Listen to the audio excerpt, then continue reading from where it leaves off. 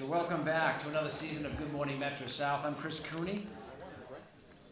I hope you had a wonderful summer. Uh, this is our first uh, Good Morning Metro South of the new season. And it's a pleasure to be here uh, at Thorny Lea Golf Club. You know, this is one of four golf clubs in the city of Brockton. It's very unusual uh, in this state to have a gateway city with four golf courses. And uh, of course, we like to say uh, this is a very nice one. Uh, uh, they all are, are pretty extraordinary, but uh, this one has the meeting space, and we're happy to be here. We actually hope to return here uh, periodically throughout the coming year and uh, kind of make it our, uh, our new kind of go-to home when we're not on the road holding these at Stonehill or Bridgewater State and, and other places um, throughout the region. In fact, the last time I spoke at this podium was with the former uh, mayor of Brockton, Bill Carpenter. And uh, we were here celebrating uh, public servants. Can we just turn the microphone just down a little bit? Okay, I can do that again. So we were, now let's wait up.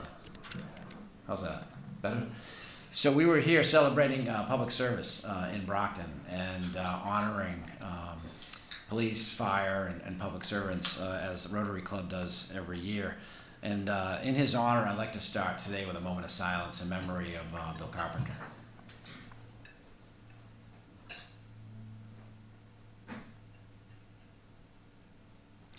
Thank you very much. Uh, we know he would have been here. Today's the day after the primary. Uh, we want to congratulate all of those candidates who made it through the primary, including uh, our mayor, Moses Rodrigues, who's here with us. Moses.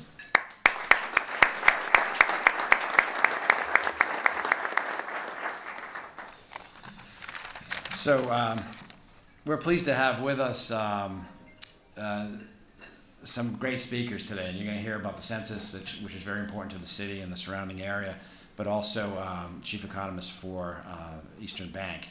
And uh, in order to guide us through today's program, uh, it's my pleasure to introduce Sue Joss. She's the president CEO of the Brockton Neighborhood Health Center and former uh, chair of the Chamber's board. Sue?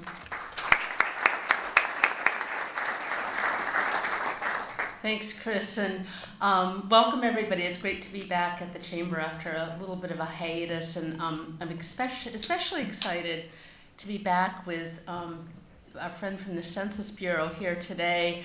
Um, so I'm celebrating my 20, 25 years at the Health Center and in Brockton, and um, I always thought I was the outsider in Brockton um, had, when I took this job, had never been to Brockton and had never lived in Massachusetts, and as far as I knew, neither had any of my family.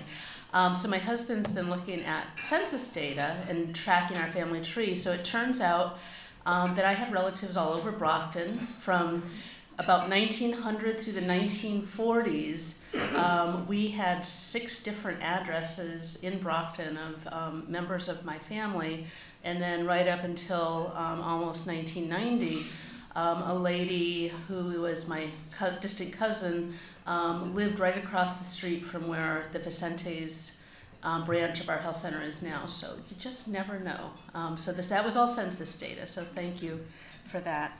Um, so I, would like to welcome everybody and first start with. sorry first start with um, thanking our ambassadors. So um, as I call their names off, if you could stand and then hold your applause for the end. Um, Rachel McNeil, Bridgewater Savings Bank, Richard Hook, Crescent Credit Union, Susan Cuniff, Mansfield Bank, Catherine Light, Envision Bank, and Paul Key, Massasoit Community College. So thank you for our ambassador team.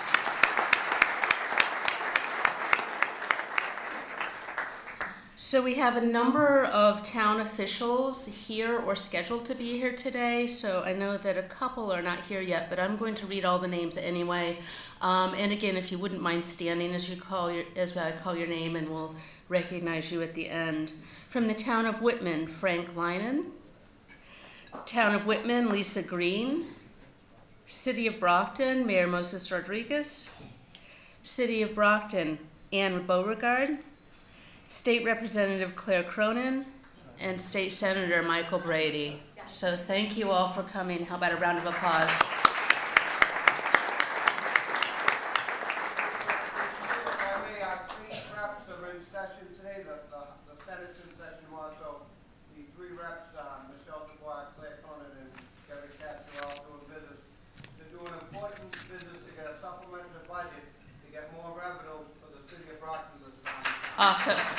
Thank you. Thank you, Mike. At this time, I'd like to introduce uh, um, and thank today's spot sponsor, Hub Technical Services. Hub Tech Services partners with the best-in-class technology vendors to provide cost-effective, end-to-end IT solutions for their clients. Services include managed service help desk, security and business continuity solutions, data center and cloud transformation, network support design, and client computing and mobility. HubTech is a full-service IT solution provider headquartered in South Easton and servicing clients throughout New England for over 25 years. Their mission is simple, to make to take ownership for all that they do, to protect those who trust them, and to make lifelong clients from every customer contact. They are a proud member of the Metro South Chamber, and Hub Tech has been a member since 2001. Please welcome Hub Technical Services President Joseph Lovetere, who will be interviewed by our own Dan Trout from Northeastern Savings Bank.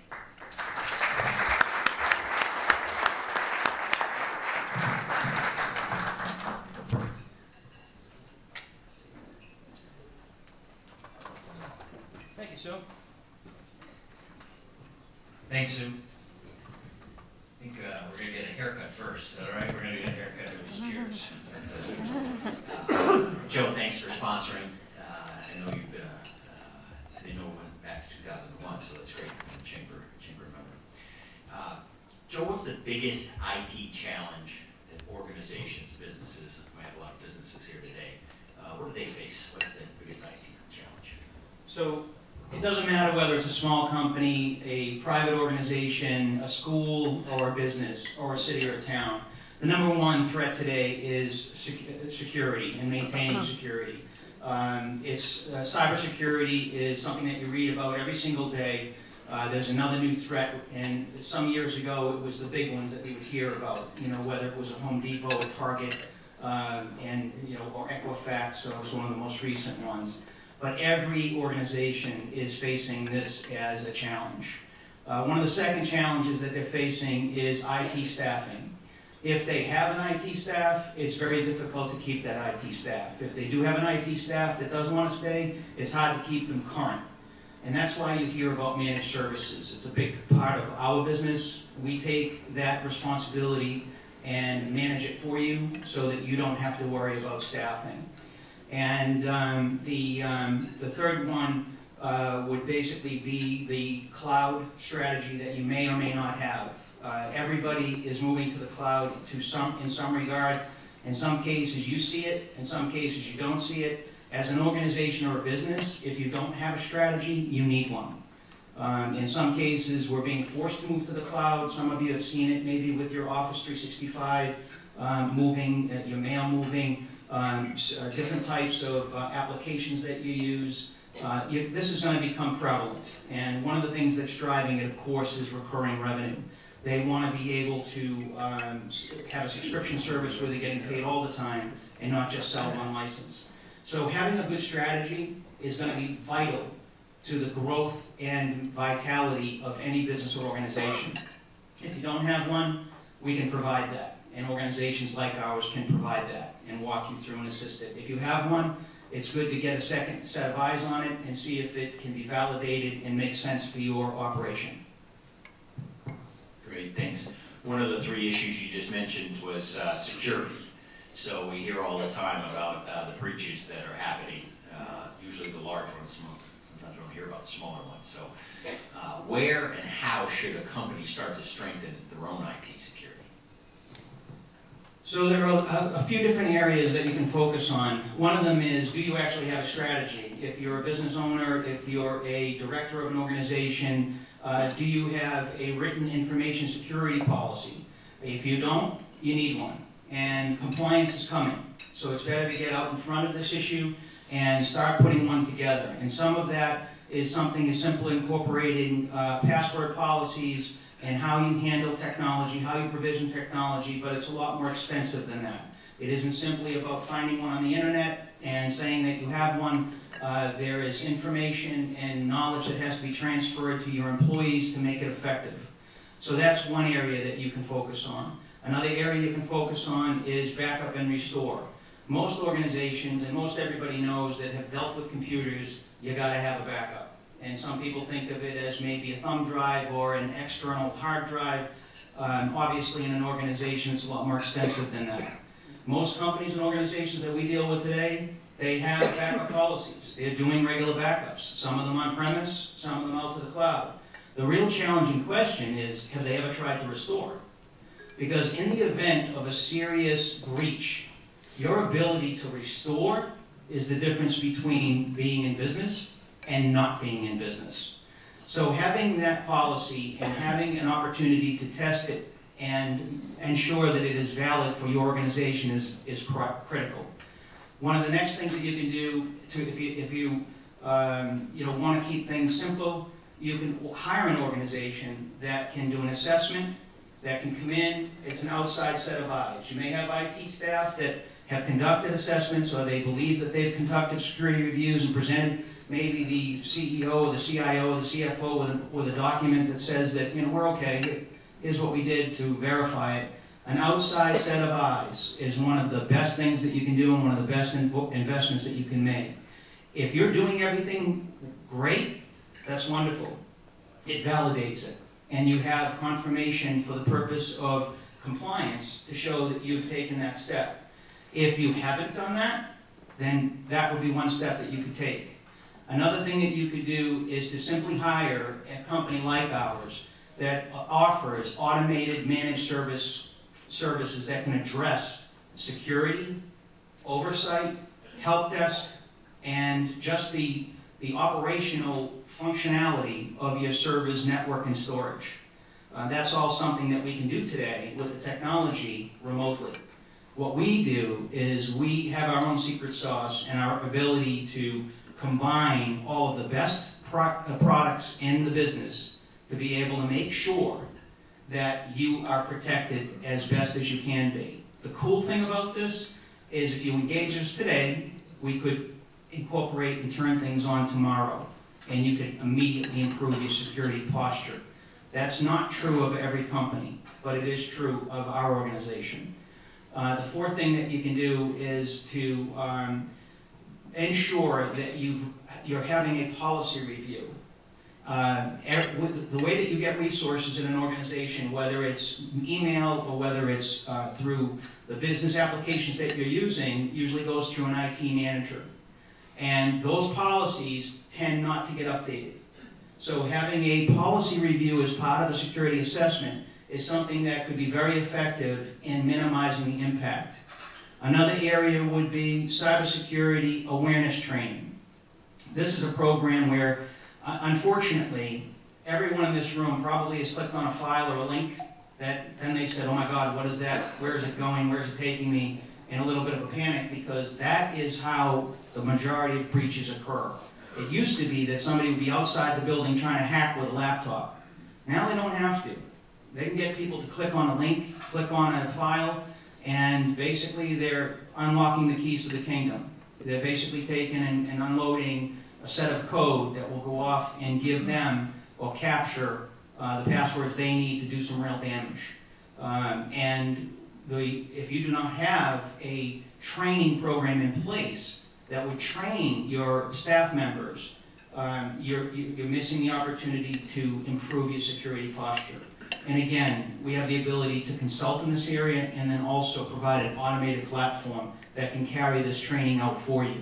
Um, this past weekend, I got one. I think a couple of uh, uh, people in my organization got one. And it was something as simple as um, it said from HR, and it said, this is the updated handbook that we've been working on, please take a look at it. And it was a link to click, and it looked like a file. I didn't click it, of course, but it turned out to be a test that my own team runs to try to make sure that our people always stay aware of the different ways that they're going to be enticed to click on something. I just have to call my office about that uh, updated handbook. Right now? Hi. Joe, those are great solutions to some of the difficult problems with IT. One of the things you see, because IT companies can be serviced remotely, how does a company go about picking an IT vendor? It's a great question, Dan. I mean, ultimately, you're not looking for the college kid that just got out of school and he is known to be a hacker and a gamer and whatever, or he's the smartest one in your family. It's not the person that you want doing that. Uh, you want to choose a company that's been in business for uh, quite a while, that has an established practice, that can give you real references uh, and show you, um, you know, ha have you talk with their clients that can tell you what, the, what we do for them, and, and would be true for any other organization like ours. Another one would be a, a company that has a managed service but an automated platform. You, don't want to be dependent on just the people uh, around the organization that can fix something. You know, and everybody has their Bill or John, you know, call John, he can solve it. Uh, we want it automated. We want to make sure that we have the right programs in place that can detect something isolate something and take corrective action immediately. And this is where the technology has evolved to, and we're at the top of it. So choosing a company that has these types of, of operations is what you want. And of course, staff. Uh, we have 15 engineers and technicians, and we have a very low turnover rate. We work hard at creating an environment that our team wants to be in. Uh, they're constantly trained, and they get incentives to, to get training.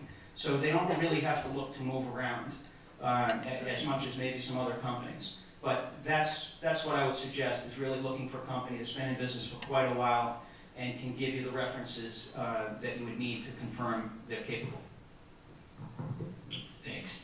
So, if there's other people in the room, and don't raise your hand, that clicked on that updated handbook, and you wanted to get a hold of HubTech and engage HubTech, how would they do that? But what I'd like to do is, uh, there's a number of members of my team in the room today, and if you would just stand up and introduce yourself real quick.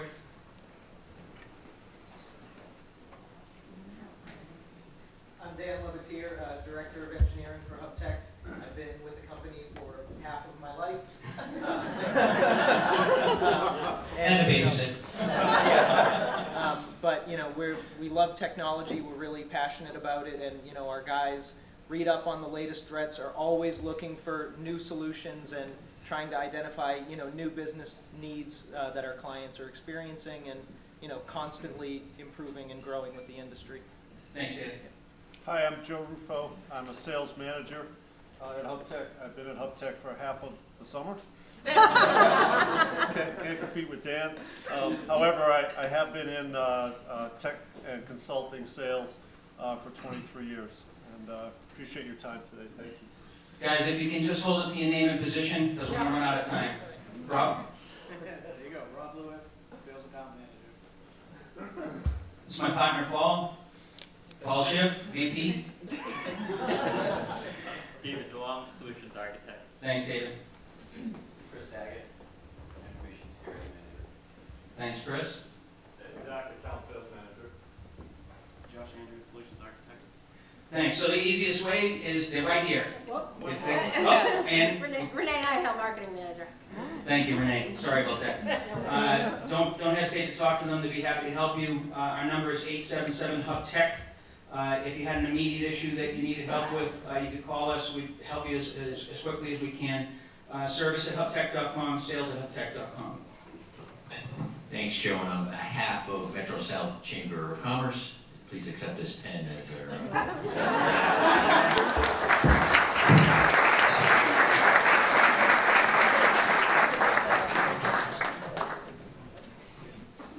Thank you, Joe, and thank you, Dan, for doing the interview. Um, our next speaker is Jeff Behler from the United States Census Bureau. Um, he's the director of the Census Bureau's New York Regional Office. Office. He began his Census Bureau career in the Detroit office in 1997. He's worked for the Census Bureau headquarters, Dallas Regional Office, and as Deputy Regional Director. And in October 2010, he was selected as the Director of the Detroit Regional Office. In January of 2013, Jeff became Director of the New York Regional Office. He earned his bachelor's degree in statistics, mathematics, and actuarial science from Central Michigan University. Please welcome Regional Director of U.S. Census Bureau, Jeff Behler, who will be interviewed by Dan Trout from Northeastern Savings Bank.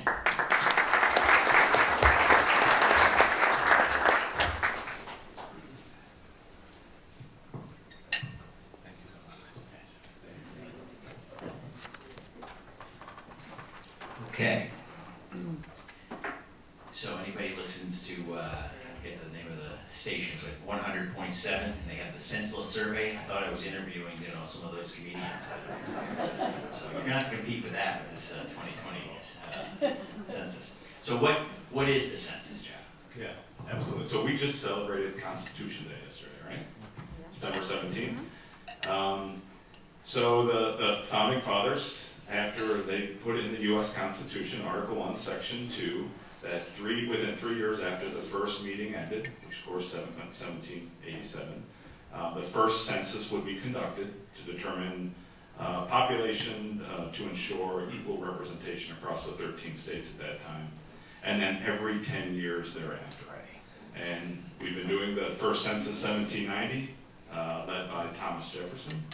Uh, we, uh, in seventeen ninety, I believe the, they counted, was it three point, three point nine million people across thirteen states? They needed six hundred people to do it.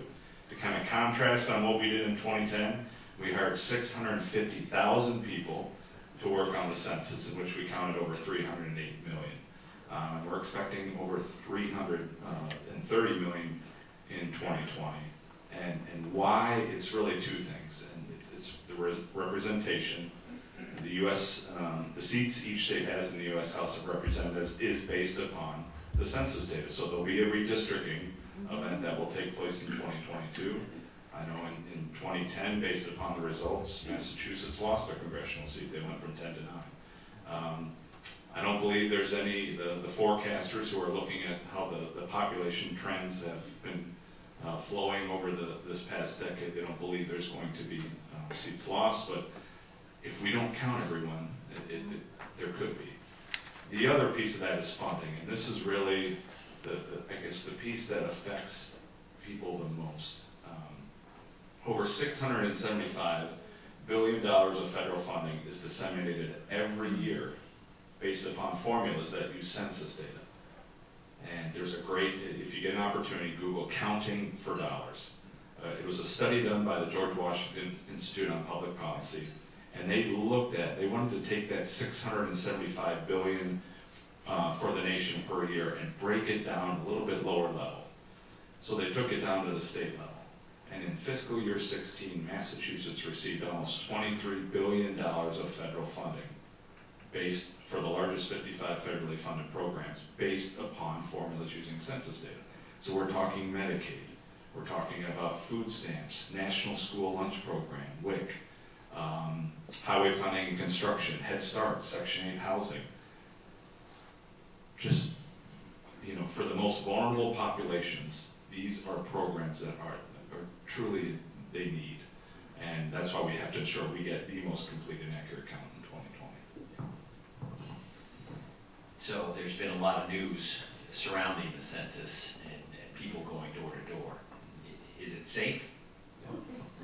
Yeah, absolutely. Um, so we, we're asking people to start the conversation about the census now. So it's, it's, it won't be just enough to fill out your form when you get it in 2020. We need you to have that conversation with your neighbor, with your coworkers, uh, at your church, at your favorite restaurant, to make sure people understand what the census is. And, and part of that conversation is the census is safe, it's easy, and it's important.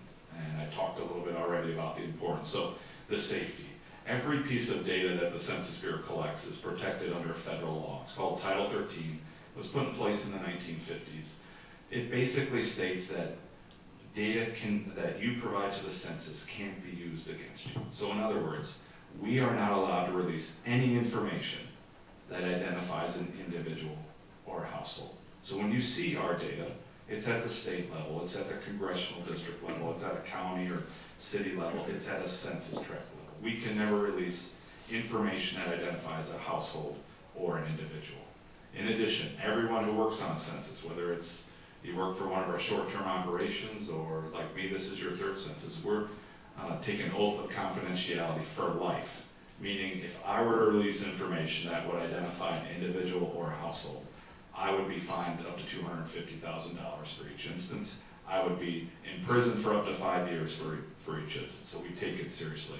And the data we collect, we don't share it with other federal agencies. So local, state, federal law enforcement cannot access our data for any reason. Homeland Security, ICE, cannot access our data for any reason. The Patriot Act does not supersede Title 13. So it's important to note that the 2020 census is safe. Sounds like you need hub tech to protect uh. Do you have a card? Uh, So we talked about, the, you know, the people that are gonna be collecting the data. Um, So as individuals, you know, in Brockton and surrounding towns, why is it important to participate? Absolutely, and, and I looked back this morning at some of the data from Brockton, and um, the city of Brockton itself, the census tracts that make up the city of Brockton, uh, had self-response rates back in 2010 around 55, 56 percent. That means 50 56 percent of the households, when they got their form in the mail, they filled it out and mailed it back in. That means we had to go knock on doors to the other 40, 44 percent. And Self-response is the highest quality of data we can ever get at the lowest possible cost. And so we talked about the census conversation, we, we, we just talked about safe, we hit important in the beginning, now let me talk about the, how it, how easy it will be in 2010. And this is very new for us, and we talk about cybersecurity. This will be the first time ever you can fill out your census online. Formatted for smartphones, for tablets, of course, if you have a desktop computer, uh, so that's the first way you can fill out your 2020 census. Over the phone, we've always had toll-free telephone support. If you need a replacement questionnaire, you had a question, or you needed language materials, you could call us toll-free. This will be the first time we'll actually accept information over the phone. So if a household wants to call their information over the phone, they can. We don't call you, so be wary of scams, but you can call us. This is huge for our elderly communities. They really look at this as a great opportunity because, you know, their kids are telling them, you know, don't go online, don't enter any information online. They're looking at this as a real positive change to, to, to call in over the phone. Every household that wants to fill it out on paper, because that's the way you've done it for the past four or five decades, every household will still have that opportunity. So we're not trying to replace filling it out on paper. We're just offering it as another opportunity. So those three ways, online, over the phone, and on paper, are what we call self-response. And the higher we can get that rate, if we can get that rate up to, Plymouth County uh, as a whole was eighty percent in 2010. Just, just with that, you know, mail back uh, option. So if we can get places like Brockton, which are typically the places with those that get the highest sender count, who often, often are those that are the most vulnerable when it comes to, you know, these programs and need this assistance, it's so important we get them counted.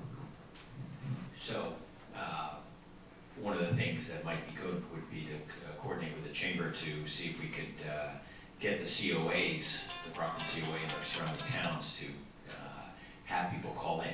I take it that people won't be receiving a phone call. Yeah, That, that's absolutely correct. I, I will say that we conduct ongoing surveys throughout the decade. So you hear about the unemployment rate that comes out the first Friday of every month. We actually collect that data for the Bureau of Labor Statistics, who releases the unemployment rate, consumer price index, um, housing starts. This is all data that our staff collects on behalf of other federal agencies. So there's always the possibility you, your address could be sampled for, uh, by, by phone, but we send you a, a, something in the mail first to let you know that we're coming.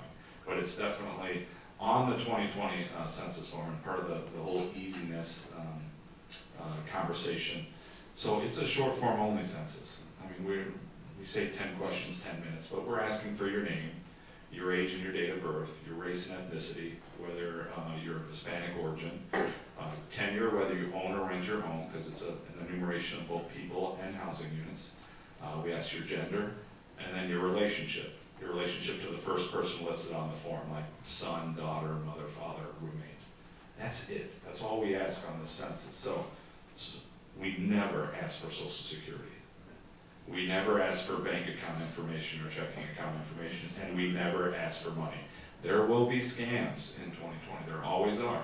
We just had one in, in Connecticut. Um, a certain national uh, party uh, did their state uh, uh, survey, and they decided to put the word census in bold at the top. And uh, we, we joke with, with some of the uh, elected officials and with the media, the Census Bureau never leads the news.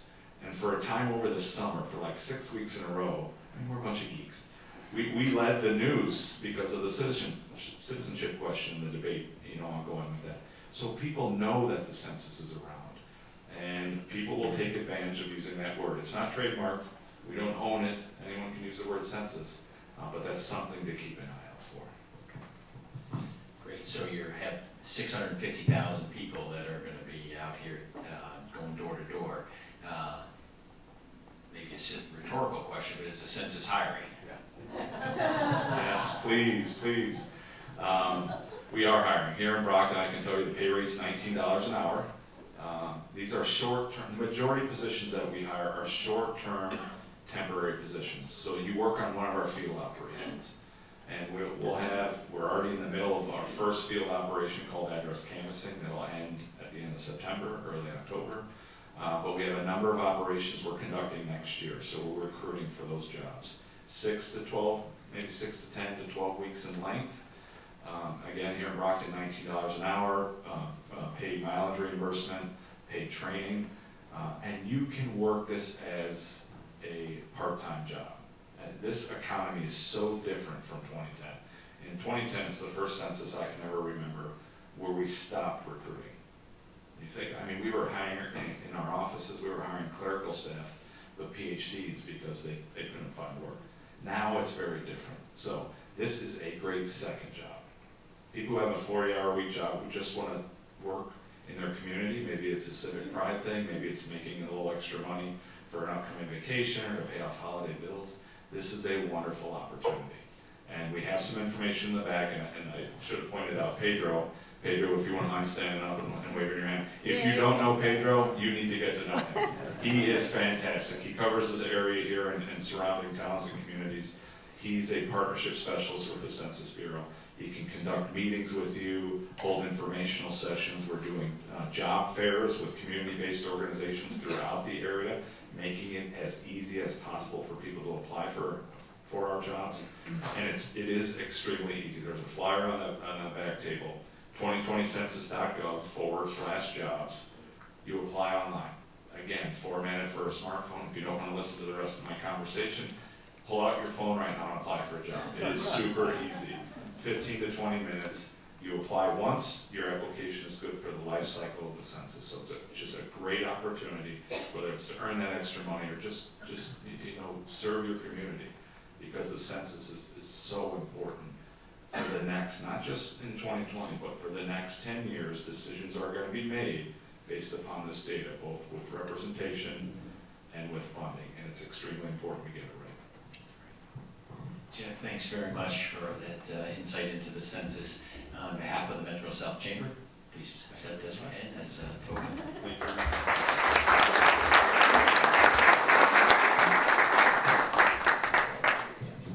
Thank you Jeff. That was great information, and thanks again, Dave, uh, Dan, for the interview. Um, now I'm uh, happy to introduce our keynote speaker, Michael Taylor. Um, Michael Taylor sets investment policy and structure, structures out asset allocation strategies for approximately $2 billion of client assets under management at Eastern Banks Wealth Management. As the primary spokesman for the firm's investment services, Michael develops and disseminates economic and financial market view viewpoints. He's also responsible for selecting and overseeing providers of investment services. Prior to joining Eastern Bank Wealth Management in 2012, Michael charted a successful career at both institutional and boutique invest investment firms. He's also a member of the board of the Economic Advisors of the Associated Industries of Massachusetts, the state's largest trade group. Michael holds an MBA with highest honors from Harvard Business School and a BA with honors from Princeton University. He's a chartered financial, financial analyst.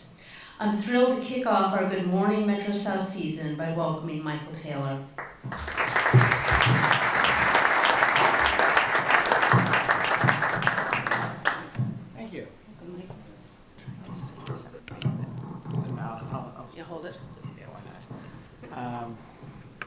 Not? Not gonna fit, will it?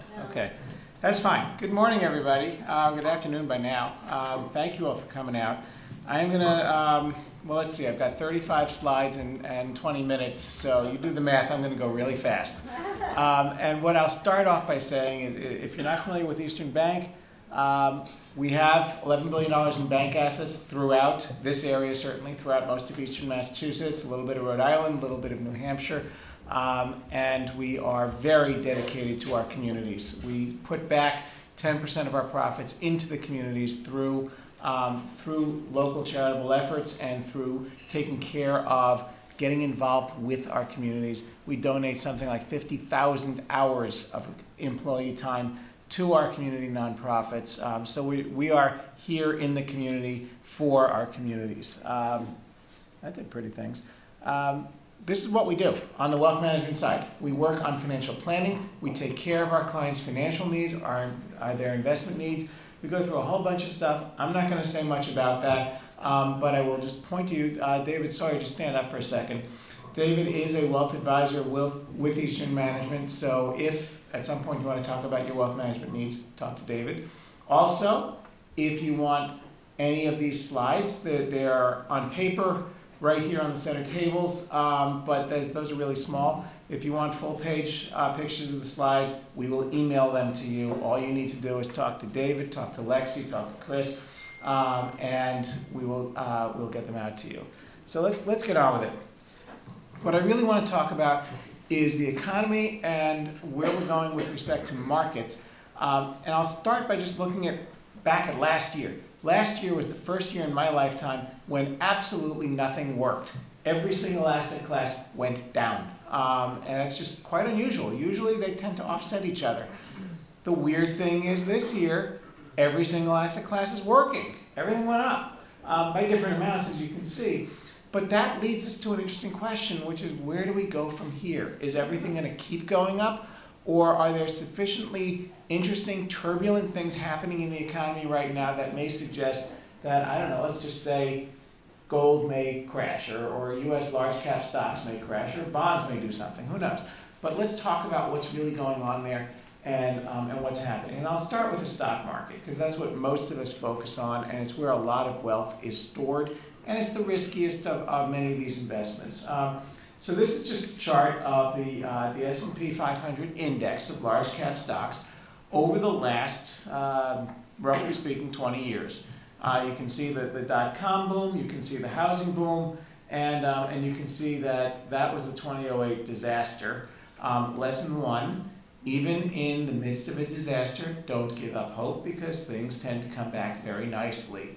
Um, so here we are in the, at, at, are we in the middle? Are we at the end of, of a historic run? Uh, where do we go from here? That's going to be the question that, that occupies most of my time. Uh, and the answer is ultimately, when you buy a stock price, when you buy a stock, what do you buy? Excuse me. What do you buy when you buy a stock? You're buying the earnings and the cash flows of that company. So when you're buying a stock market index, like an S&P 500 index fund, you're buying those earnings of the index or of corporate America, basically. Um, so where are earnings growth going? That's, that's what's going to drive the stock price. And here I'm just showing you what the projected earnings growth rate has been for the stock market going back again 20 years. You can see earnings go down in a recession, so it matters um, uh, whether the economy is going on, on a recessionary binge or not. Now, the last couple of years, we've got this interesting phenomenon here, and you can see that in um, 2017, earnings growth jumped by 10 percentage points almost overnight. And that was basically a residue of the tax cut. Um, you cut the tax rate, net earnings go straight up. And guess what? 12 months later, the exact opposite happens because now the tax rate stays the same from one year to the next, and so it came right back down. The much more concerning thing is why earnings growth has slowed even further after the effect of the tax cut has happened. Um, and that's what I'll explore a little bit in terms of what's going on and what we should expect. So the reason that we care about all this stuff is you hear a lot about inverted yield curve. Um, and specifically, Everybody tells you, well, every time there's an inverted yield curve, recession is coming. When recession comes, corporate earnings are going to go down. Therefore, the stock market's going to go down. Therefore, I'm going to the poorhouse. That there are a few therefores in there that don't always hold water, in case you're wondering. Um, and here, let me just show you. This is the, the, the red line is a simple subtraction of the 10-year bond rate minus the two-year note rate, treasuries in both cases, government um, debt. And you can see that every time that happens, every time longer term rates are lower than short term rates, we did go into a recession. It's happened three straight times, right? Um, and here we are. It dipped into a slight inversion about two weeks ago. It's still extremely close to zero. Two year and 10 year are almost exactly the same interest rate right now.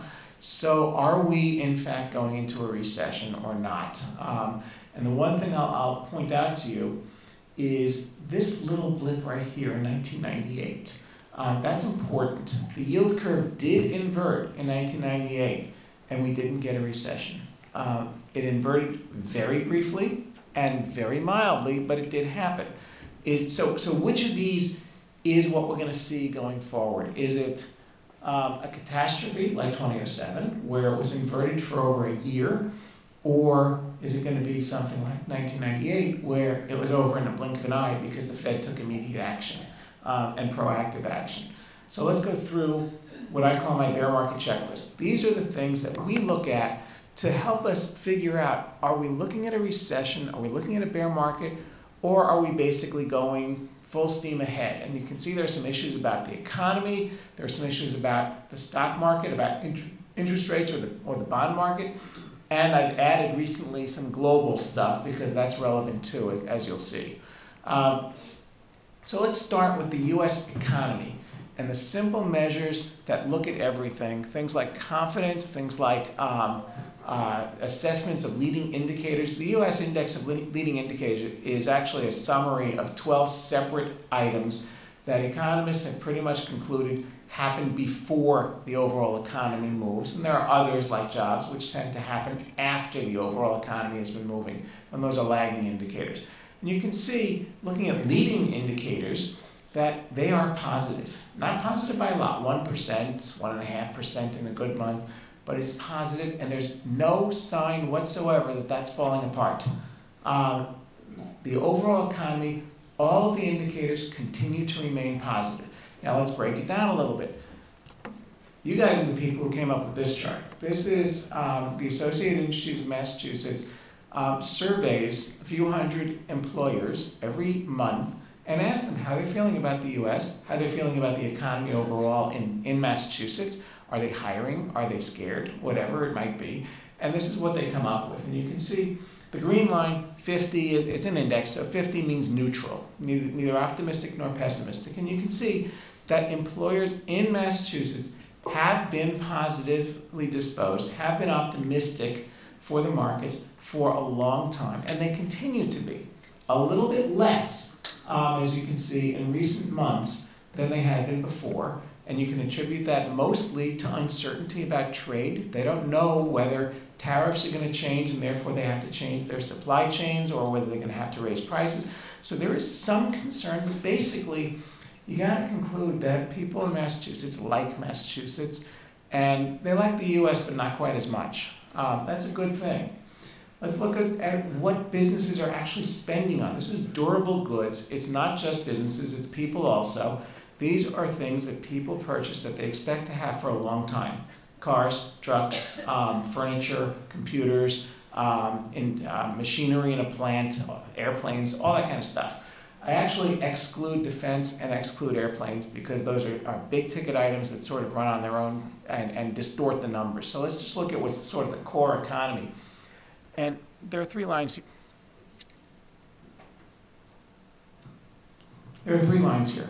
The yellow line is the line that gets reported in the newspaper every month. It is the month to month change in durable goods orders. I think that is just noise and useless, so ignore it. The purple line is what's going on year to year. Now you're getting some sense of, of people are, are, are moving and there is some volatility to that. But we're talking about stuff that you buy for a long time and you hold for a long time. So look at the red line. which is a five-year moving average. And you can see that following the 28 2008 recession, it took a long time before people started buying again. And then there was a huge replacement cycle that came in because a lot of people had really out of date stuff that they couldn't afford to replace for a long time. And so that was a pretty robust replacement cycle that eventually petered out. Um, and here we are now beginning to show the next generation. This is a good thing. But is it going to stay? Notice the purple line. The one year numbers are starting to look really kind of, I wouldn't say scary, but a little nerve, nervous making. So are businesses scaling back their purchases? Are businesses losing a little confidence and a little excitement? I'd say yes. And that does make me a little bit nervous um, about the future of the economy. And we know exactly why they're nervous. It really is all about global trade. These numbers are worse for manufacturing companies and they're somewhat better for services companies. Uh, now let's shift to the consumer. Consumers are feeling pretty good. Uh, this is one of, of two major consumer sentiment numbers. And you can see the, the numbers are basically irrelevant, it's just an index, but the direction is important. And you can see that the level is high and the direction is good. These, the, the average American consumer feels really good about the economy. By the way, what happens when, it, when people feel good about the economy? They spend money. They buy houses, they, they buy cars, they go on vacations, they, they go out to restaurants. They invest in themselves and in their homes, and that's a good thing. So I love to see that number staying high.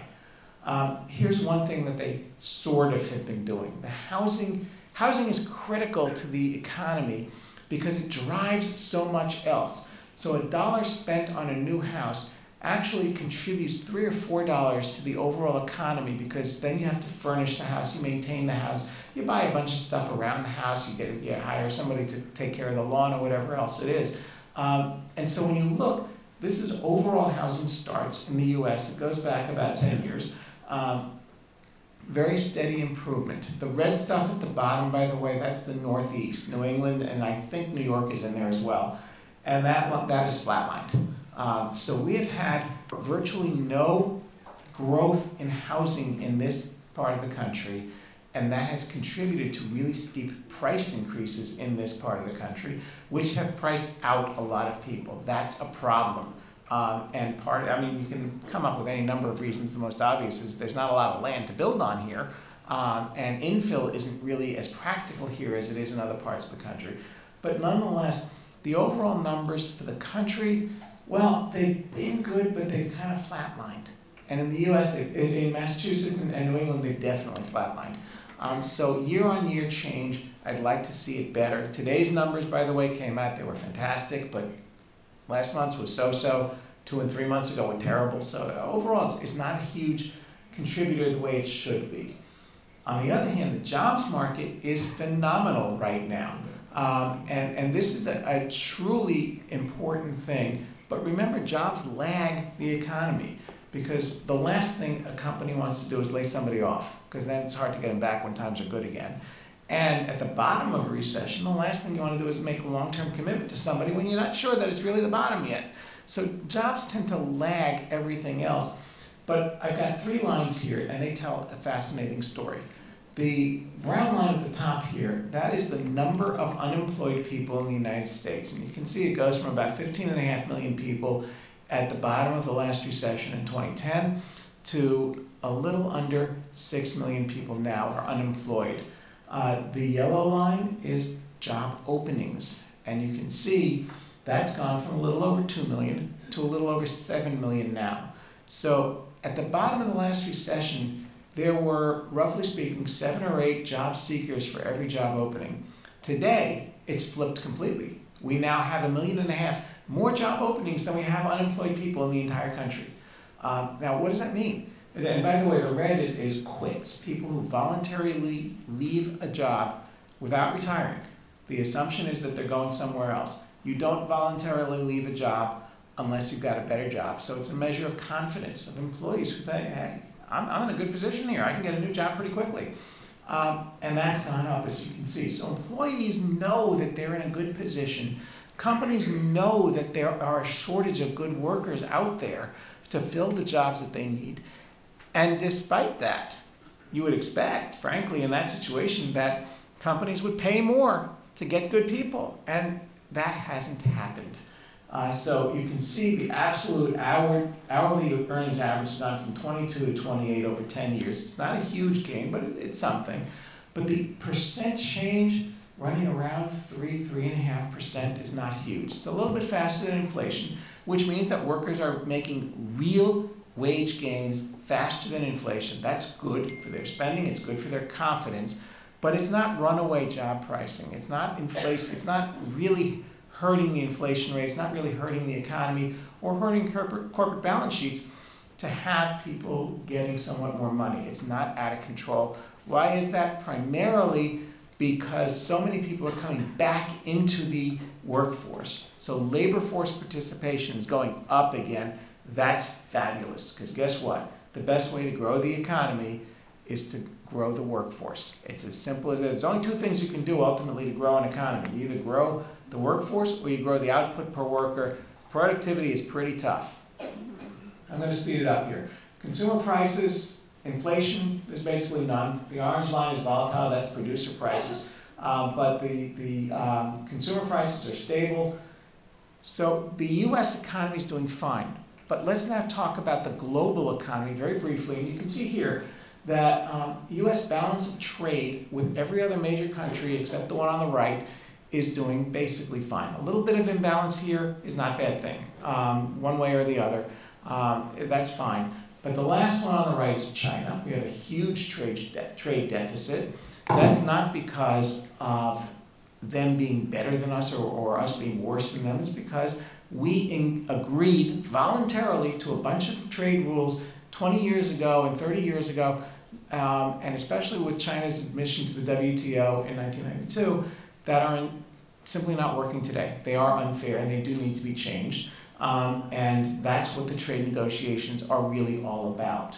Um, it matters more to China than it does to us. We are a huge and resilient economy, and we are also an economy that is basically pretty closed. Most of what we need, we can do ourselves, much more than any other country in the world. Um, and so you can see here, this is just percent of the economy. In red is China, and white's us.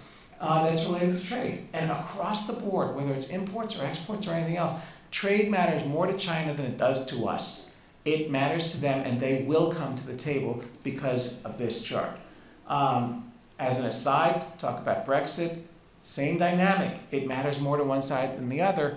I don't think Brexit matters too much to us, so I'll, I will not say much about it, except that Britain's in a really weak trading position right now because way more of Britain's economy is related to trade with Europe than Europe's economy is related to England and Britain has a huge trade, de trade deficit that will have to be financed with higher tariffs if they don't come up with a deal. So Britain is not in a good place right now. Massachusetts doesn't make that much difference. Even the China stuff doesn't make that much difference here because our economy is very diversified. Education, services, um, transportation, manufacturing, very little. All the big parts of our economy, education, healthcare, and so on, those are hard to export. Those are hard to offshore. So this economy here is much less cyclical and much less exposed to trade than most other parts of the country. Um, this is the, the end result. GDP growth is doing fine. Um, it was volatile, it's smoothed out, and the US economy is tracking nicely. So what do you do with that? What's the investment outcome to that? Here I'm just showing you stocks versus bonds. It's the yield on a 10-year treasury in red versus the yield on the S&P 500 in, um, what is that, green. And for the most part, bonds should trade with higher yields than stocks, and they haven't. So stocks look really cheap compared to bonds because you're getting the same dividend or income level, except you're doing it with growth that comes from stocks that you're not going to get from bonds. So what's going on? Why do we have this disparity? Which, by the way, the last time that situation was true was all the way back in 1958. So uh, what you're looking at is a really unusual, once-in-a-lifetime kind of situation that's now persisted for a few years. So the same chart, by the way, I started with. The S&P 500 index in green, but now I've overlaid the earnings per share in red, and I've said that it's about a, call it 16 to 1 ratio of one to the other. That's the historical average price to earnings ratio. So when the green line is higher than the red line, people are optimistic and stock prices are high. That's the way to look at that. And you can see that right now, stock prices are a little bit high. They did last December when people got scared about growth. But right now, investors are feeling good about stocks. They're feeling good about the economy, and they have every reason to feel good about the economy. Um, bond investors in credit markets, corporate bond investors, they're feeling good about the economy too. This is just a chart showing you the difference in interest rate between a corporate bond and a risk-free treasury bond. Um, and you can see the difference is pretty small now and has been for a few years especially compared to the last two recessions when there were huge differences. So what that tells you is that corporate bond investors are feeling good about the economy too. They know that corporate bonds are going to be good paper.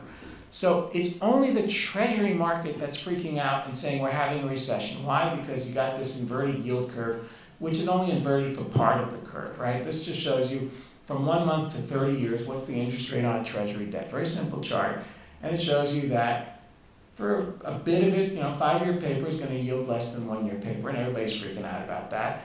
And I'll tell you, I think that's nuts, and here's why. The U.S., this green line is, sorry, the U.S. is this line right at the top here. Still some inversion over the first few years, but not much. Um, but what do you notice about it? U.S. interest rates are way higher than anywhere else in the world. Now, Mr. Trump looks at this and says, you got to take that orange, that, that purple line, bring it way down with the rest of the world. I look at this and say, wait a second. The U.S. interest rates are higher because we have a, a, fantastic economy that's doing really well, and the Fed doesn't want to put us into hyperdrive that eventually is going to crash. So I, I respect that. What's going on here is really everywhere else in the world is having serious problems with their economy. They can't grow their way out of their problems right now. Their demographics stink. Um, their monetary policy is a disaster. They're, they're trying to say, well, let's have negative interest rates and maybe people will spend more money. The problem isn't that there's no money, and the problem isn't that they have that, that the price of money is too high. The problem in Europe, especially, is that the banks aren't capable of lending because they're undercapitalized and because they have a ton of bad loans. That came from the last recession. We got rid of all that years ago. Europe didn't. So why should we try to mimic what Europe's disasters are when we're doing fine? And as long as that's the case, as long as Europe sticks to its ultra-low interest rate policy, and you know, let's face it, Germany, Japan, and, and uh, the Eurozone and Switzerland have below zero interest rates. That's Looney Tunes for the United States. It's not going to happen, but as long as that happens, a global investor is going to say, I want to buy a government bond, I'm buying the cheapest and best quality, which is United States debt. That's going to keep interest rates down. It's going to keep bond prices up. And that's why bond prices are doing, treasury prices are saying, gee, inverted yield curve, we must be a recession. has nothing to do with recession and everything to do with problems everywhere else. Here we're doing fine and we're not going into a recession. This just shows you Europe's disaster. U.S. economic growth is doing fine. So let me wrap up here. Here's the checklist again, except now I filled it in a bit uh, with some stoplight colors. Um, the economy, at best, at, at worst, there's a few yellow lights here and there, but mostly green all the way. If you look at interest rates in the bond market, the Fed, I hope they don't cut too much.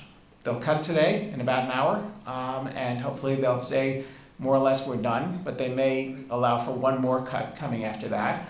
Um, the yield curve, okay, that says recession, but I think we understand why it says recession, and I'm ignoring it, frankly. Um, credit quality is great. The bond, corporate bonds are not in trouble.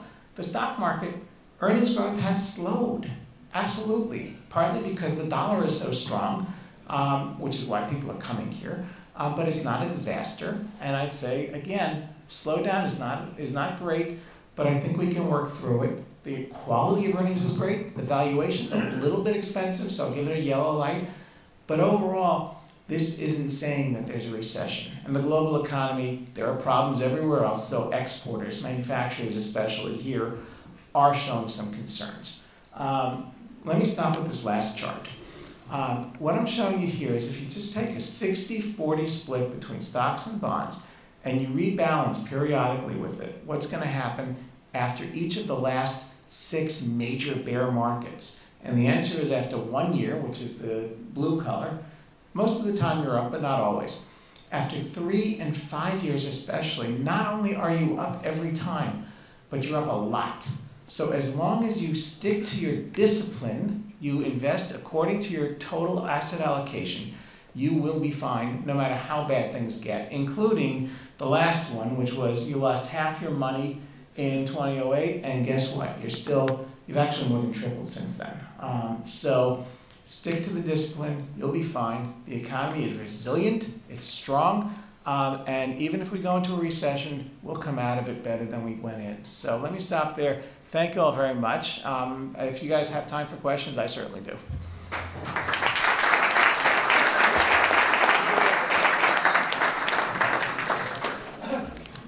Thanks, Michael. And there are blue sheets on your table. I have a few of them gathered already, but um, while you're, you could um, write them out and chamber staff will be around to collect those. So, Michael, the first question I, I saw for you is um, the effect of the current UAW strike. Um, do you see that as affecting the economy at all in short term, long term, or what are your thoughts? Well, let, let's see how long the strike lasts. Um, if it's a short one, it'll have almost no impact. And even if it's a fairly long one, manufacturing isn't as important as it used to be in this country. There are only about seven or eight million manufact uh, seven or eight percent of the U.S. population is employed in manufacturing right now. It's a tiny number. So yes, it matters, and it especially matters in the Midwestern states where a lot of it is based. Um, unions, of course, are, are less than they used to be as a percent of total manufacturing. So unless it's a really long strike, I don't think it's going to have a major impact on the economy. Thanks. How about the impact of um, the China tariffs, and do you think they'll have an impact? And would you have done anything differently to address the imbalance uh, in the trade with China? Well, the, the, the, the China tariffs so far have had no impact, really. It's just a, a little bit of pricing here and there, because a tariff is nothing but a tax, and when the tax goes up, it, you spend a little bit less, but it's not meaningful. If in December, the Trump administration goes through with its current plan to tax a half a trillion dollars of Chinese imports at 25%, okay, I can do the arithmetic, it's $125 billion of tax money that comes in. Um, on a $17 trillion economy, it's about three quarters of a percent. That's three quarters of a percent that you and I are going to spend on taxes instead of on other stuff. So that would reduce the econ economic growth by a meaningful amount. It wouldn't send us into recession. It would not be a catastrophe, but it would definitely slow us down. Um, I don't think we're going to do that because I think the, the administration understands the negative impact uh, on that. But would I have done it differently?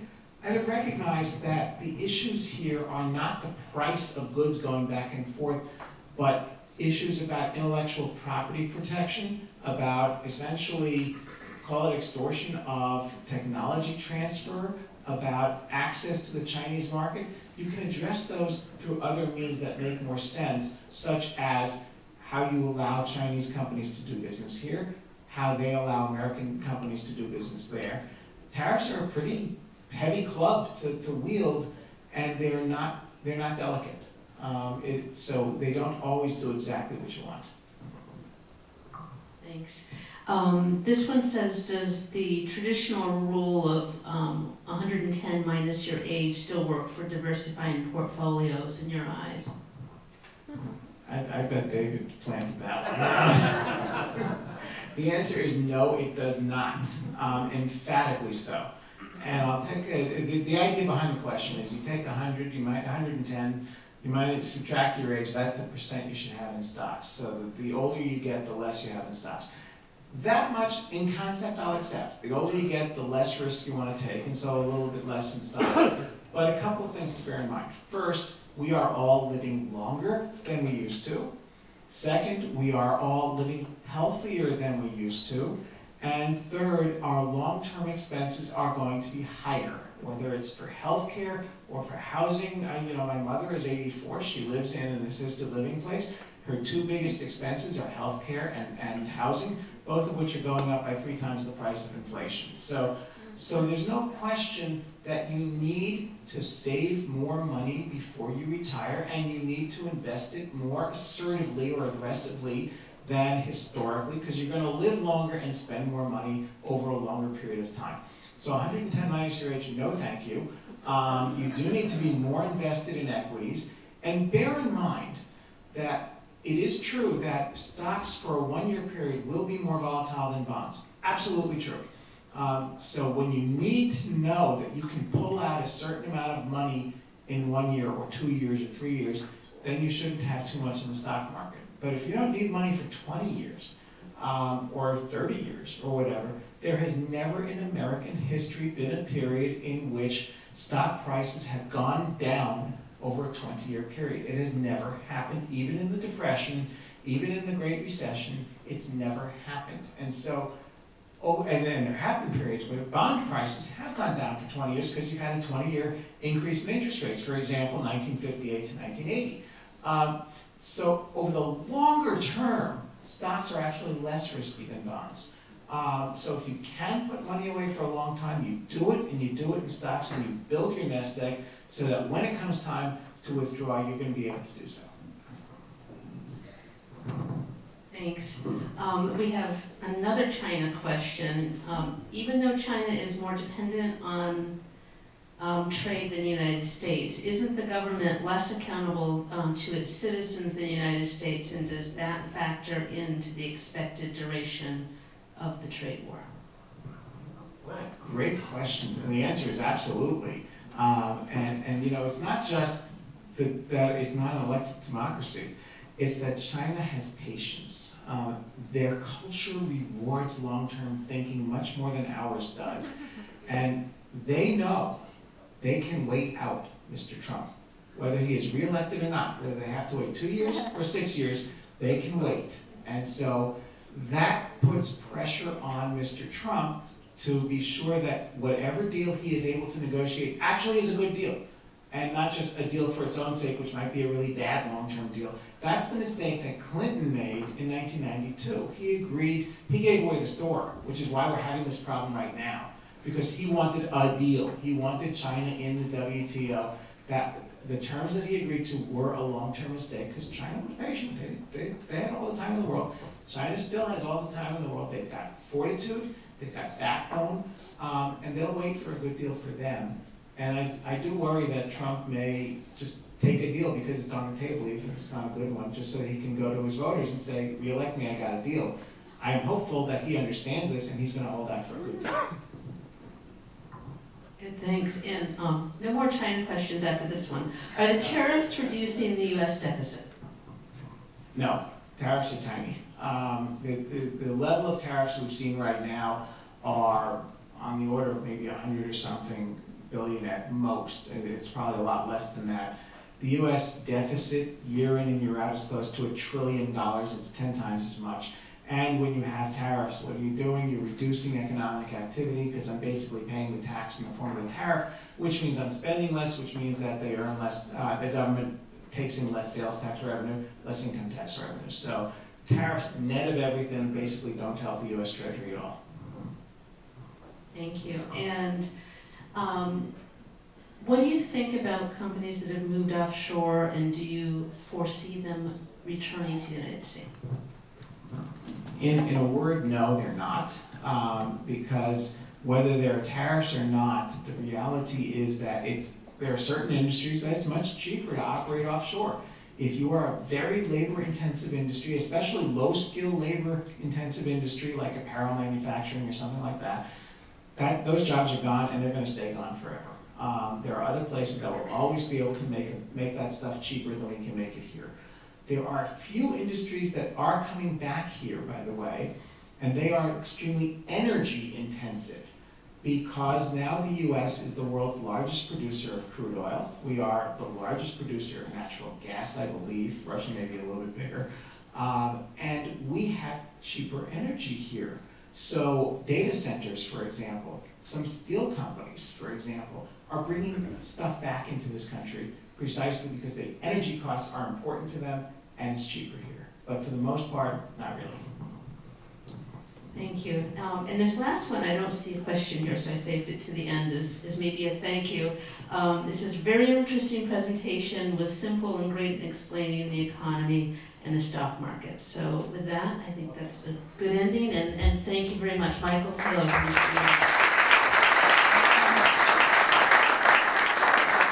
Thank you very much.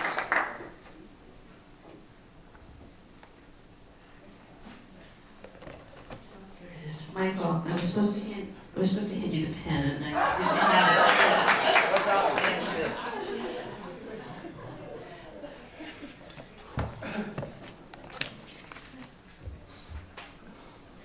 All right, for the chamber update then. Um, first of all, for um, the winners of the drawing for the um, profile of your company in the action report, Jim Kelly, Power Management Company. And for the wine, uh, Ray Yaney, um, MassHire Greater Brockton Workforce Board. Congratulations. Um, and to close with the chamber update, um, tomorrow, September 19th, the chamber is hosting business after hours at Wood Palace Kitchens in Middleborough. That's from 5 to 8 p.m. That'll be celebrating their 40th anniversary. The 20th, 28th annual legislative and candidates reception will be held on Thursday, October 3rd from 5 to 7.30 p.m. at Donahue Hall at Stonehill College. That's always a, a great and well-attended event. The next Good Morning Metro South is Wednesday, October 23rd at the new Father Peyton Center in Easton and will feature Don Wilson from 1145 to 1.30. November 20th is the 106th annual meeting luncheon and business to business expo um, of the chamber, and that will be held at the Team Challenge Multipurpose Auditorium.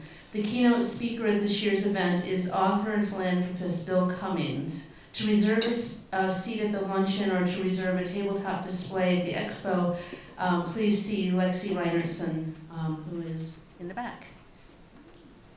Um, so um, thank you all for coming, and to finish up our thank yous, today's ambassadors team, thank you very much. Rich Morgan Photography, today's interviewer, Dan Trout, this morning's sponsor, Hub Technical Services, Jeff Behler from the U.S. Census Bureau, Michael Taylor, our keynote speaker, Thorny Lea Golf Club for providing the fabulous setting and meal, Brockton Community Access, the Enterprise. Thank you all, and thank you all for coming.